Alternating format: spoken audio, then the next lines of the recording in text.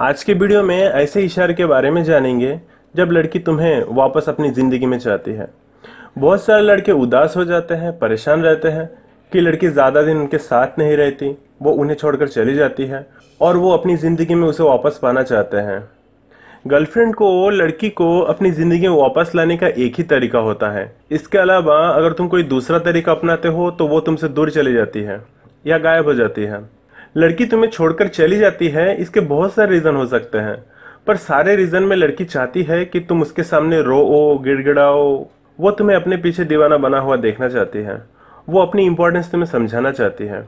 इसलिए वो तुम्हें ब्लॉक करती चली जाती है, पर वो बातचीत का कोई ना कोई ज़रिया ज़रूर रखती है, कि जिसमें तुम बता सको कि तुम उसे कितना प्यार करते हो। अगर देखो तुम्हारे बीच बातचीत का कोई ज़रिया नहीं है तो समझो बड़ा कुछ हुआ है, वो वापस नहीं आएगी। उससे बात करने की जल्दबाजी मत करो। कोई कांटेक्ट न रखने वाली लड़की, सब जगह से ब्लॉक करने वाली लड़की तीन चार महीने में खुद बात करती है। पर वो अब भी वही देखना चाहती है, क्या तुम उसे याद करते हो या नहीं?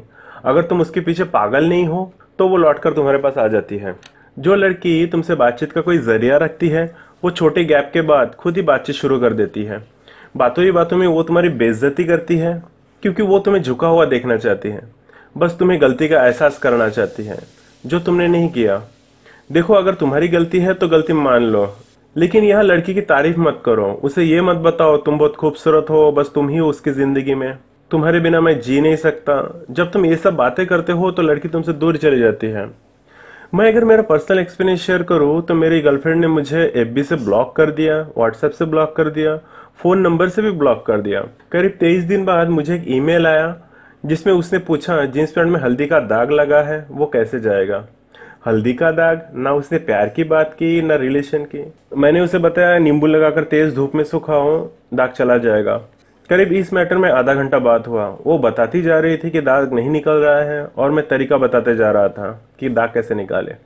हमारी बातचीत शुरू हो गई, वो वापस आ गई। पर हम लड़के क्या करते हैं? तुम बहुत खूबसूरत हो, जानू मुझसे बात करो ना, इग्नोर मत करो, नाराज़ क्यों हो? ऐसे ऐसे रोने धोने वाले बातें करते हैं। लड़की को मज़ा आता है कि ये बंदा तो मेरे पीछे ही पड़ गया और वो इग्नोर करती चली जाती है।